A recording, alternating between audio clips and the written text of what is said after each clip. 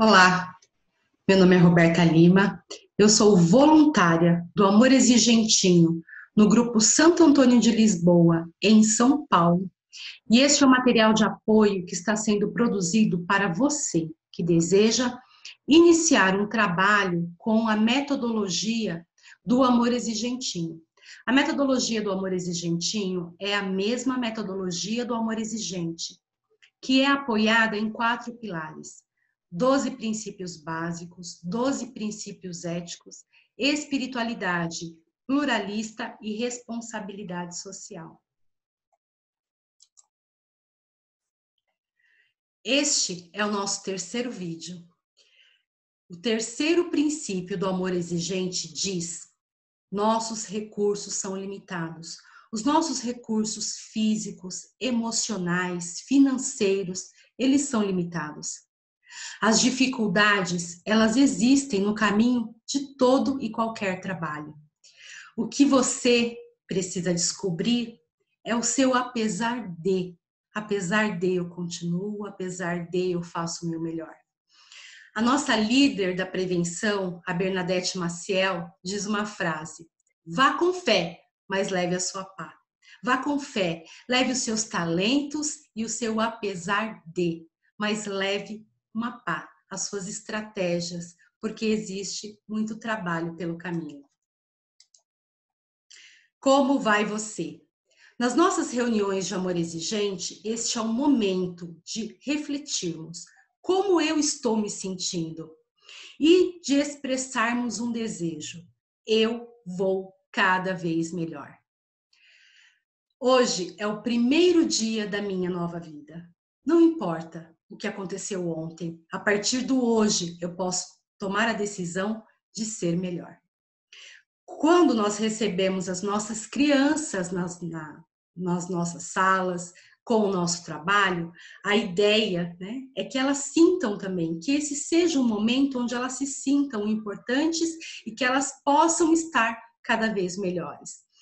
Observar, acolher é receber, é dar pertencimento, observar as nossas crianças na sua chegada, acolher com carinho, com sorriso, com uma sala preparada com segurança para elas, com atividades pensadas para elas. Algumas observações nos ajudam a acolher melhor essas crianças. Que horas são? De onde elas vêm? Elas vêm direto de casa? Elas vêm da escola, elas vêm de alguma instituição, elas estão vindo acompanhadas por quem? Pelo pai, pela mãe, avós. Tudo isso nos ajuda a acolher melhor essa criança, a recebê-la, a fazer com que ela se sinta importante, que ela sinta que ela está, é, que ela pertence ao grupo. Terceiro princípio do amor exigentinho fala: os recursos são limitados. Esse princípio caracteriza-se por ser protetor, porque nos faz refletir sobre o respeito que devemos ter em relação aos nossos limites físicos e mentais, emocionais, econômicos e em relação ao meio em que vivemos. Este é o princípio protetor. Para as crianças, este princípio indica a linha demarcatória de nossos limites físicos, emocionais, financeiros, entre outros. Os limites, eles nos ajudam a caminhar com segurança. Essa faixa etária de 4 a 6 anos, as crianças, elas não param muito tempo para ouvir longas conversas. Então, como explicar sobre esse princípio para as crianças? O que é proteção? Quem me protege? O que é limite? Para que, que o limite serve? O objetivo geral deste princípio é incentivar a criança e adolescente a se organizarem diante dos próprios recursos de seu meio familiar e social. Os objetivos específicos. Quando recebemos as crianças, vamos montar o nosso cronograma. No Amor Exigente, a gente trabalha ah, um princípio por mês e cada semana nós utilizamos uma abordagem, o um enfoque no eu, o outro e a sociedade. Os objetivos específicos vão nos ajudar a construir o nosso cronograma. Quais atividades que eu vou trazer? Quais são as brincadeiras que eu vou trazer? Então, ler, estudar o princípio, observar o, objetivo geral e o, objetivo específico do programa vai me ajudar a escolher melhor. Identificar diferentes tipos de recursos naturais, emocionais, cognitivos, familiares e pessoais e financeiros. Identificar prioridades em situações cotidianas. Identificar seus direitos e deveres na sociedade. Identificar regras de convívio social e a sua importância, para que o limite serve e por que ele é importante. Identificar a partir dos sentimentos de frustração e perda as ações de aceitação ou de criatividade e mudança. Os conceitos que nos orientam à prática do princípio também nos ajudam a montar melhor, a entender melhor o princípio, para poder, através das atividades, demonstrar essa vivência para as crianças. Limite é o ponto que não se deve passar, superação. E se acontecer, o que eu faço? Conformismo é a acomodação que não permite mudança, aceitação, estimula-nos a elaborar novos planos. O lúdico. A faixa etária que eu estou falando neste módulo é de 4 a 6 anos.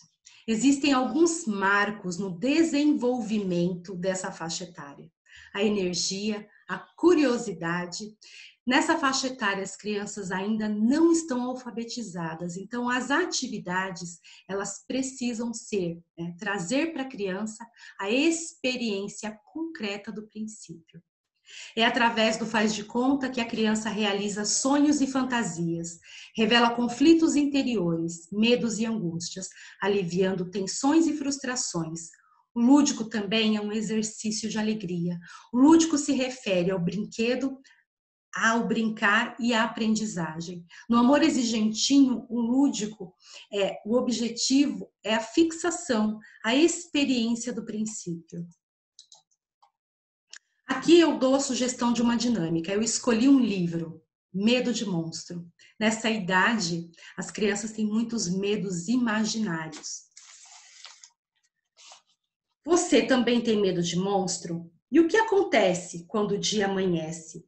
Na hora de dormir, as crianças se assustam com barulhos estranhos, sombras na parede, movimentos e a imaginação corre solta. Que monstro é esse? E os barulhos que ele faz. Então, este é um livro que eu gosto de trabalhar com as crianças nessa faixa etária, porque fala da imaginação, dos limites da imaginação e de situações que as crianças podem se identificar com relação aos seus sentimentos, com relação à frustração, limite e o que é pertinente ao princípio. Aqui eu faço a sugestão de um teatro de palitos. Você pode é, trazer impressos desenhos, as crianças vão colorindo, e enquanto elas vão colorindo, nós podemos perguntar: você tem medo de quê? Quais são os monstros que você tem medo?